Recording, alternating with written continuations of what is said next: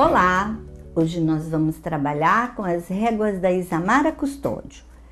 A gente já vai fazer uns paninhos de prato para o Natal. Eu vou usar o boneco de neve e essa régua de barrado. Quando você vai trabalhar com a régua, qual é o primeiro passo? É você medir quantos objetos ou bonequinhos vão dar no seu pano. Se eu for colocar essa régua aqui, sobre um pedacinho aqui, outro aqui. Como hoje nós vamos trabalhar com o termocolante da Isamara Custódio, nós vamos riscar aqui, ó, no papel. O termocolante dela já vem com o papel, ó. É um termocolante que não sai, vocês podem ficar tranquila que ela, ele também não sai. Eu posso medir aqui, ó, eu já até cortei um pouquinho mais, e aí eu vou riscar aqui em cima. Para eu riscar, para ficar o mesmo tanto de um lado e do outro, vocês vão marcar o meio do meu do papel, ó, porque aqui eu coloquei um pouquinho maior. Então você marca o meio, vem aqui, marca o meio da régua, ó, e vai riscar. Eu vou, eu vou riscar com caneta, aqui tanto faz, mas eu vou riscar com caneta porque vai ficar mais fácil para visualização de vocês. Ó. Vou parar aqui, ó. Venho, risco de um lado do outro.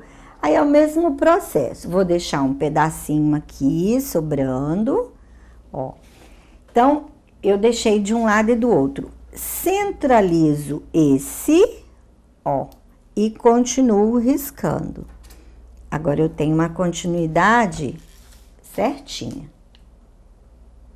Só que eu vou fazer ele verde e vermelho. Então, eu vou fazer de novo a outra parte.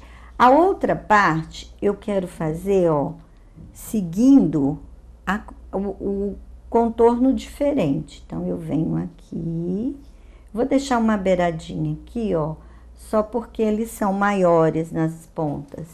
Então, vai ficar mais fácil. Ó, você vem aqui e vai fazer o mesmo contorno. Só até a metade.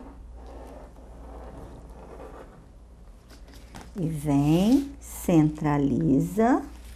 Você pode centralizar esse e dar continuidade aqui. Agora, a gente vai cortar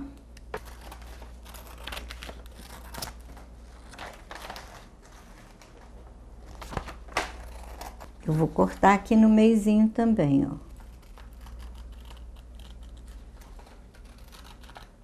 Tá vendo? Eu não preciso de deixar um pedaço muito grande, pode ser uma beiradinha de nada, ó. Porque eu preciso de cortar o termocolante junto com o tecido, para impermeabilizar o tecido. Aí o tecido não vai desfiar. Bom, agora eu vou colocar os bonequinhos de neve aqui. Eu posso colocar só três, eu posso colocar os quatro. Eu vou optar em colocar os quatro para ficar bem, bem bonitinho. Então, eu venho aqui, ó, vou riscar, deixo uma beiradinha, vou riscar aqui em volta, ó. Vai riscando todo em volta, que você entra aqui dentro, olha, para fazer o acabamento. Aqui vocês tanto podem riscar no termocolante quanto no tecido.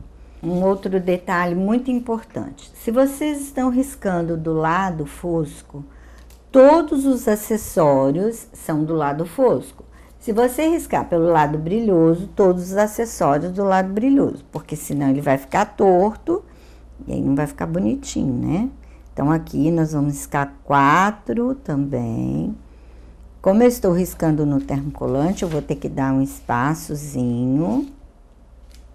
Não, nem preciso, porque eu vou usar o mesmo tecido, ó. Mas todo jeito vocês têm que deixar um espaço pequenininho. Quando você muda de tecido, você deixa um espaço maior.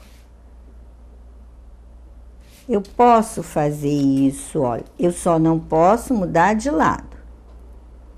Posso colocar de cabeça para baixo, não tem problema nenhum. E vamos fazer o lacinho, que também são quatro. Aqui o lacinho a gente já dá um espaço um pouquinho maior. Na realidade é o echarpe dele, né? Que a gente vai montar. Esse echarpe eu vou fazer um de cada cor, então eu vou dar um espaço um pouco maior pra gente poder fazer ele colorido.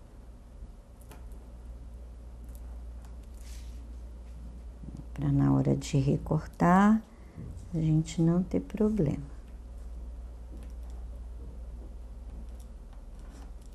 Agora, riscamos tudo, agora a gente vai recortar. Aqui, aqui, como eu vou fazer um de cada cor, eu vou recortar um por vez. Recorto separado.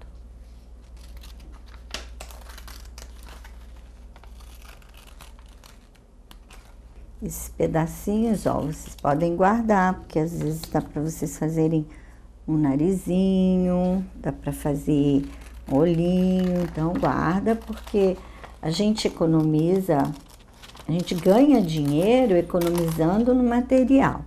Então, quanto mais você economizar, melhor é. E agora, nós vamos colocar no tecido todos esses pedacinhos. Então, vamos lá. Nós vamos pegar esse daqui, ó, ele é um barrado. Quando você comprar esses barrados, compre sempre para fazer pano de prato 50 centímetros. Por quê? Aí você pode usar todas as barras. Então aqui eu quero vermelho e quero verde. Eu tenho verde do lado de cá e vermelho aqui. Então vou trabalhar com os dois. Eu posso recortar o tecido ou eu coloco aqui, depois eu recorto. Então, vamos colocar, depois a gente recorta. Então, vamos lá. Vou fazer um barrado desse aqui. Então, o que que eu faço? A parte que eu risquei, ela vai ficar para cima, vai ficar no avesso do tecido. Então, eu vou pegar essa parte brilhosa e vou colocar para baixo.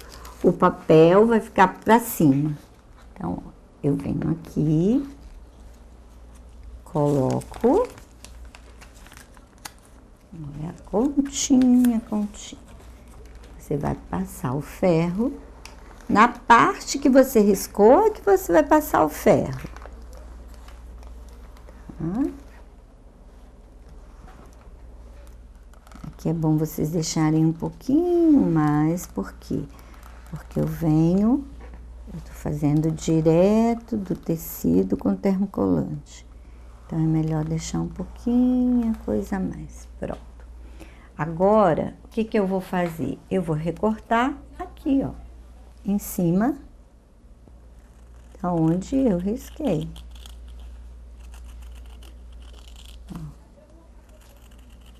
Bom, agora a gente tira o papel, ó.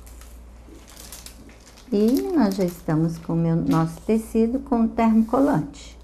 E assim nós vamos fazer em todo o nosso trabalho. A mesma coisa. Coloca no lado avesso. Aqui o lado que eu risquei para cima. Poderia também colocar esse lado que eu risquei. Se eu risco do lado onde tem o termocolante, eu também posso riscar, tiro o papel antes, eu posso fazer dessa forma também. Mas acho que assim fica mais fácil para vocês guardarem. Ó, então, vem aqui.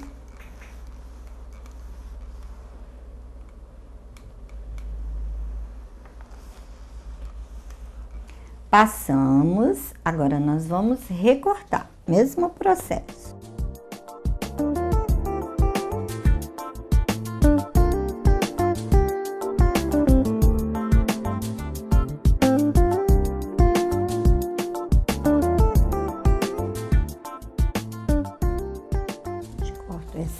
Para na hora que você tirar ficar mais fácil, olha. Agora você puxa e pronto. E aí tá aí, os dois, legal. Agora nós vamos fazer todo o mesmo processo com todos os outros pedacinhos. Bom, agora que nós recortamos tudinho, tá todo certinho, nós vamos montar. Para eu montar, eu vou deixar o mesmo tanto de um lado e do outro. Eu só passo o ferro, só encosto. Porque se eu quiser tirar, se ficou torto, olha, eu posso tirar. Tá vendo? Então, eu só encosto para eu montar, para ver se é exatamente isso que eu quero se é desta forma. Agora nós vamos montar o pinguim. Aí o pinguim, pinguim não, nós vamos montar o boneco de neve. O boneco de neve, eu vou colocar ele mais um pouquinho para cima. E vamos centralizar também. Três dedos aqui, três aqui. Vamos chegar só um pouquinho. Isso. Vamos colocar ele aqui, ó. Ele tem que interagir um pouco com a base que nós estamos colocando. Ó, tudo assim. Você vai montando sem colocar, só passando o ferro. Eu fiz dois azuis, então o que que eu vou fazer? De um lado e do outro, nas duas pontas, eu vou colocar o azul. Olha que lindo boneco de neve, fica muito fofo. Esse trabalho é muito bonitinho que você vai você vai montando como se fosse um quebra-cabeça. E é bem legal, tanto você faz exercício com a sua mente, como você faz um trabalho muito lindo. Bom, agora nós vamos mais ou menos marcar o rostinho dele. Por quê? Eu preciso saber aonde vai ficar a boquinha e o olhinho para eu poder colocar o, o narizinho dele. Então, o que, que eu faço aqui? Ó, já vou fazer o bracinho bem devagarinho, ó, só para marcar. Bem devagar. Porque aí você vai saber onde vai ficar cada coisa e depois com a canetinha você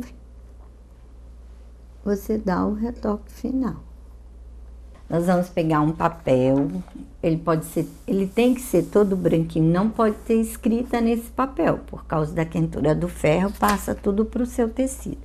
E aqui, ó, nós vamos deixar 15 segundos o ferro de algodão para linho ao máximo, paradinho aqui, ó, em toda a nossa peça.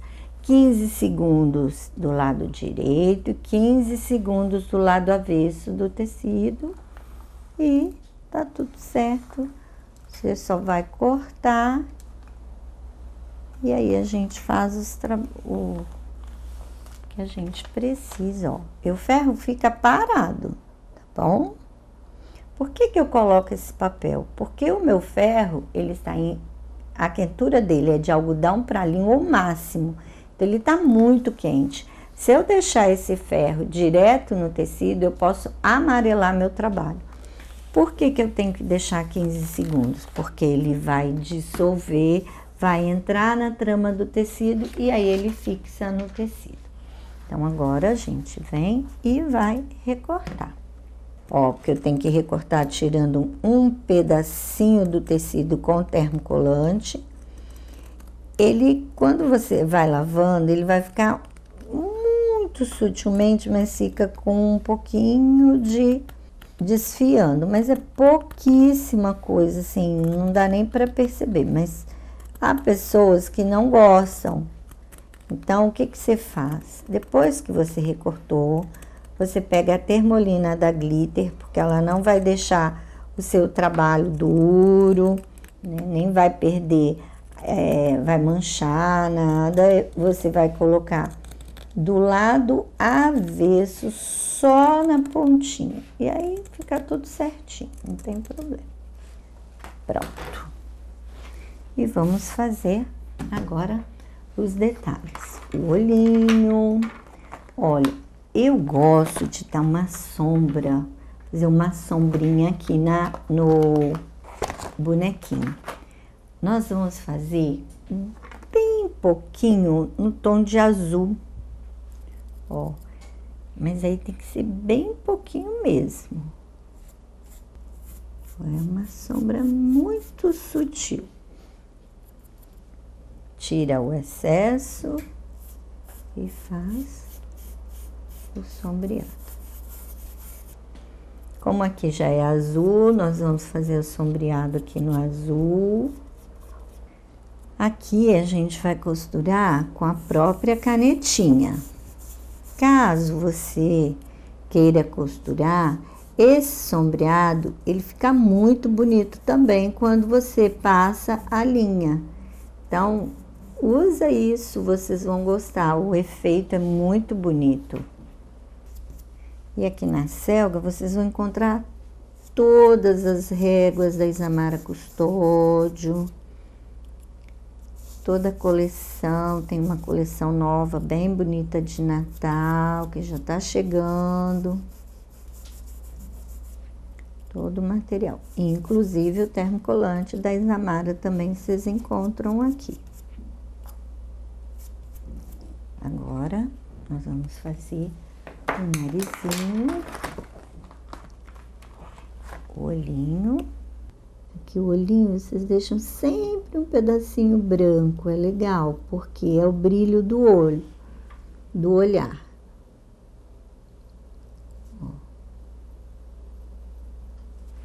Eu vou fazer a boquinha preta, porque eu gosto da boquinha pretinha. Aqui também poderia ser vermelho. E agora que nós vamos fazer uma costurinha, que aí eu não vou fazer a costura de caseado. Quem é que manda é quem está por cima. Então, ó, eu, aqui eu paro, vou fazer a costurinha no nariz.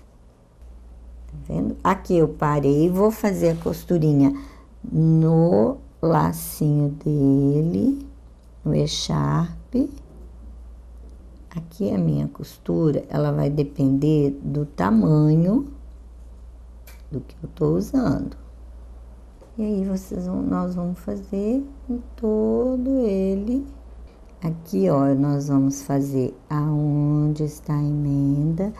Aqui, ó, quando você trabalha com essa caneta costurando, você não vai apertar, é bem devagarinho.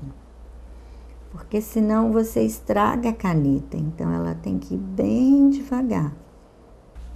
Olha que lindo que ficou. Imagina a sua cozinha que maravilhosa. Então, passa aqui na Selga, compra todo o seu material e façam lindos trabalhos. Enfeita a sua cozinha, enfeita a sua casa para o Natal é uma luz diferente. E até a próxima dica!